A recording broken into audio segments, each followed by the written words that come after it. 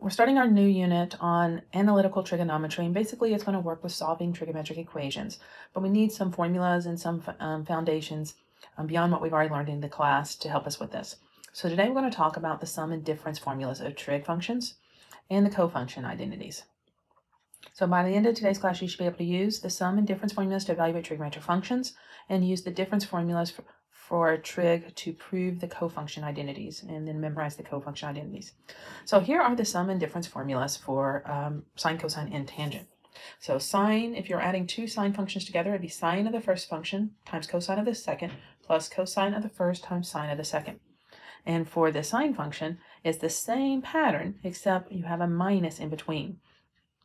So the sum formula for sine, um, think S is sine, which means same sign. So for you're going to have the same sign in between your two terms. And plus and plus, minus and minus. So you have the same signs added together. Plus and plus, minus and minus. But the same the signs are the same, but the trig functions in each term are different. You have sine of the first term times cosine of the second num second angle plus cosine of the first angle times sine of the second angle. So the trig functions are different with the, the sum and difference formula for sine. But the sign between the two terms is the same as the, as the in the formula. All right, for cosine, it's different. Um, if I want to find the cosine of u plus v, I take cosine of the first angle times cosine of the second angle minus cos uh, sine of the first angle times sine of the second angle. And then for the difference formula, it's cosine mu cosine v plus sine of the first angle times sine of the second angle. So C, member constant functions. So that means when you have a C, your functions are constant. So for cosine, you have cosine u, cosine v, minus sine u, sine v. And for the same thing for the difference formula. The constants the it's constant functions, so the functions are the same. Different signs. For the sum formula, there's a minus sign in between it. For the difference formula, there's a plus sign between. Okay, now looking at our tangent formula. Tangent for, sum formula for tangent is tangent of the first angle plus tangent of the second angle. That looks, me make that a better V. Divided by 1 minus the, the tangent of the first angle times the tangent of the second angle. So notice the top sign is the same as the sign in our trig function. So I have plus uh, for the sum formula for tangent, the top is a plus, and then the, then you change the sign in the denominator, it's minus. For the difference formula of tangent, it's the top um, sign in between the two functions is minus, and the bottom is plus. So tangent of u minus tangent of v divided by 1 plus tangent u tangent v. All right, let's look at how we would um, work with this. So if I wanted to find the sine of pi over 12, I need to think of two angles on my unit circle that will add or subtract to equal pi over 12. So I would think about, well, I know 4 pi over 12 minus 3 pi over 12 gives us pi over 12. And 4 pi over 12 simplifies down to pi over 3. And 3 pi over 12 simplifies down to pi over 4. So pi over 3 minus pi over 4 gives us pi over 12. So I'm going to rewrite pi over 12, the sine of pi over 12, as the sine of pi over 3 minus pi over 4. And so now I'm going to plug those angles into my um, sine formula. Remember, sine are the same sign, different functions. So my formula would be sine of pi over 3 times cosine of pi over 4 minus the cosine of pi over 3 times the sine of pi over 4. Now to evaluate this, we got to go back to our unit circle. So remember our unit circle and think of our first quadrant of a unit circle and values that we know. So remember um, at zero radians, we have one comma zero, and then we're going to count down. So that'd be square root of three over two and one half, square root of two over two and square root of two over two. And then at 60 degrees, it's one half the square root of three over two. So sine of pi over three would be square root of 3 over 2. Cosine of pi over 2 is square root of 2 over 2. Cosine of pi over 3 would be 1 half. And the sine of pi over 4 is square root of 2 over 2. So we're going to do multiplication first. So that gives us square root of 6 over 4 minus square root of 2 over 4. Then we're going to subtract and make a single fraction, square root of um, 6 minus square root of 2 over 4.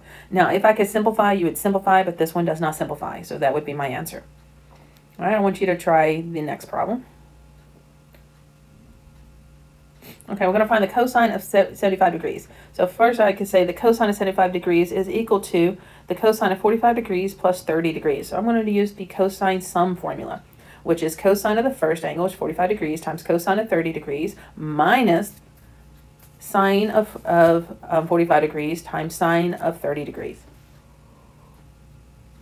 So referring back to my unit circle, um, cosine of 45 degrees square root of 2 over 2, cosine of 30 degrees is square root of 3 over 2, Sine of 45 degrees squared of 2 over 2, and sine of 30 degrees is 1 half.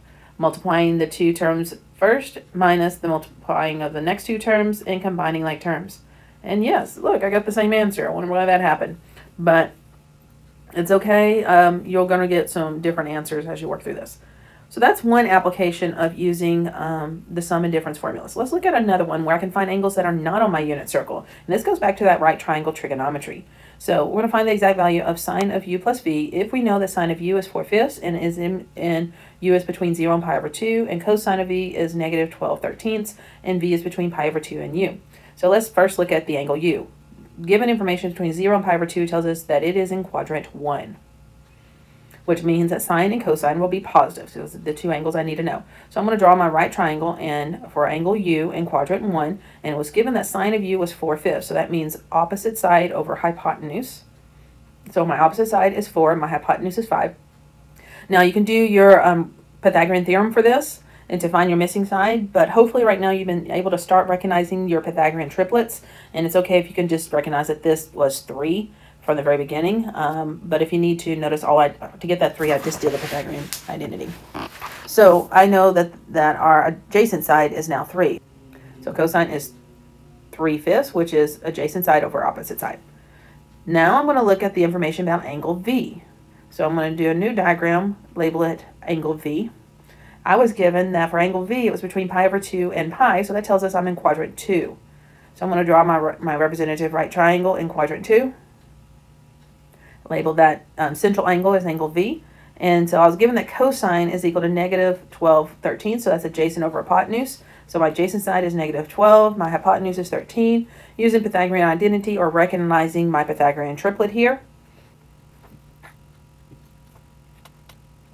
we figure out that the missing side is 5.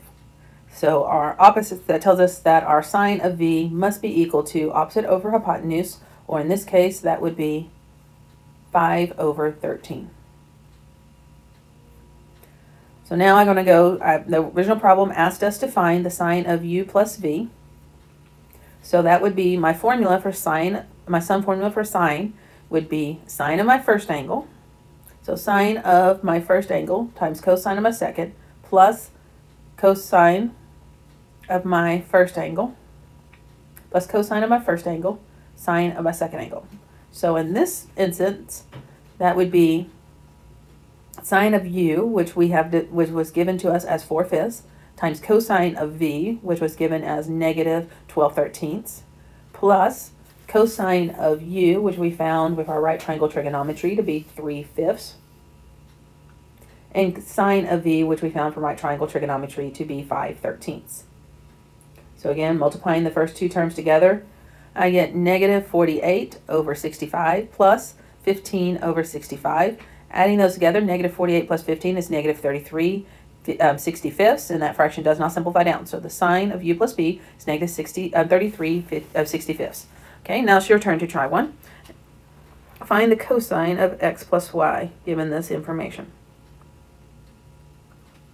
First thing I want to do is find my missing pieces for my angle um, x. So it was given us in quadrant 1, so I'm going to draw my representative rectangle in quadrant 1. We know our hypotenuse is 3 and our opposite side is is uh, our opposite side is 3, our hypotenuse is 5. Using our Pythagorean triplets, I figured out my other side was 4. Now I'm going to look at angle y. So y was found in between 3 pi over 2 and 2 pi, so that tells me it must be in quadrant 4. So drawing my representative rectangle in quadrant 4, labeling my central angle as y. I was given that cosine is equal to 2 to the square root of 5 over 5, and cosine is adjacent side over hypotenuse. So that tells my adjacent side is 2 to the square root of 5. My hypotenuse is 5. So I need to figure out my opposite side by using Pythagorean, I, um, the Pythagorean identity. So that gives us y squared plus 2 the square root of 5 squared is equal to 5 squared. Solving that, I find that y is equal to the square root of 5. Okay, but I am in quadrant 4. So remember, in quadrant 4, um, your x is negative. I mean, your x is positive, your y is negative. So make sure that we, when we do our work here, we're going to use the negative, um, cos uh, negative square root of 5. Is cosine x times cosine y minus sine x times sine y. Okay, cosine of x is equal to 4 fifths. My cosine of y is equal to 2 the square root of 5 over 5 that was given to us, minus our sine of x was given 3 fifths. And our sine of y is going to be negative square root of 5 over 5. Okay, multiplying across of the first two fractions together, and then multiplying the second two fractions together, and we get our answer of 11 the square root of 5 over 25. And that would be the cosine of x plus y. Okay, let's see how you did with this difference formula tangent. So remember our, our difference formula tangent is as follows. All right, so now we got to figure out what the tangent of x is equal to. Well, tangent of x is opposite over adjacent, so that would be 3 fourths. The tangent of y is also the opposite side over the adjacent, which would be negative square root of 5 over 5, over two to the square root of 5, which if we rationalize that and get rid of our radicals there, we end up with negative 5 over 10, which simplifies down to just negative 1 half. Or you could have just canceled out the square root of 5 at the very beginning and saw that it is negative 1 half. Now, our tangent of x is 3 fourths, tangent of y is negative 1 half, 1 plus 3 fourths times negative 1 half. All right, um, so plus minus some negative becomes positive and minus a negative becomes positive here at the bottom. Now, and we're going to look at the numerator first. We need to add those fractions, so we need a common denominator. So I'm going to rewrite 1 half as 2 fourths, and I'm going to rewrite 1 as 8 over 8. Adding our like adding our fractions on the numerator, and then adding our fractions to the denominator.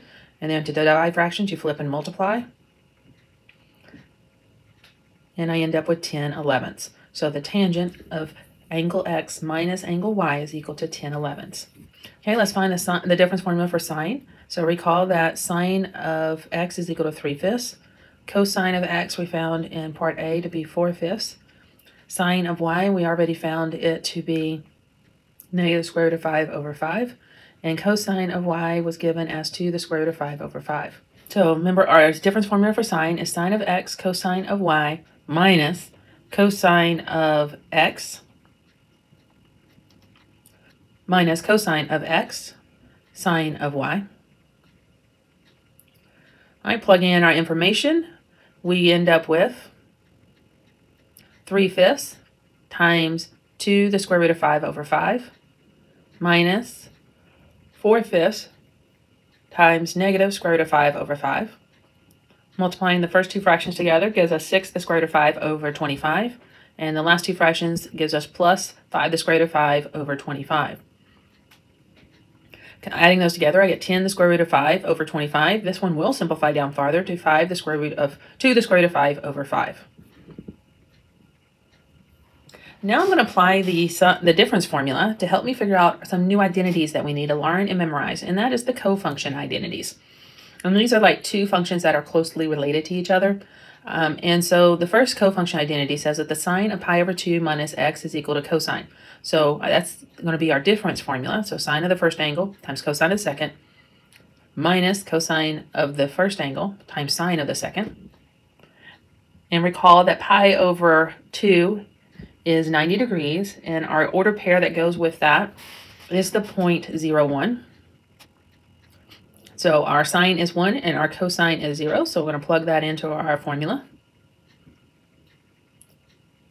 And then 1 times cosine of x is cosine of x. 0 times sine is just 0. So cosine, so this, uh, this sine of pi over 2 minus x is equal to cosine x. Okay, let's see how you did. So pi over 2, remember, is the order pair 0, 1. So our cosine difference formula is cosine of the first angle, which would be pi over 2,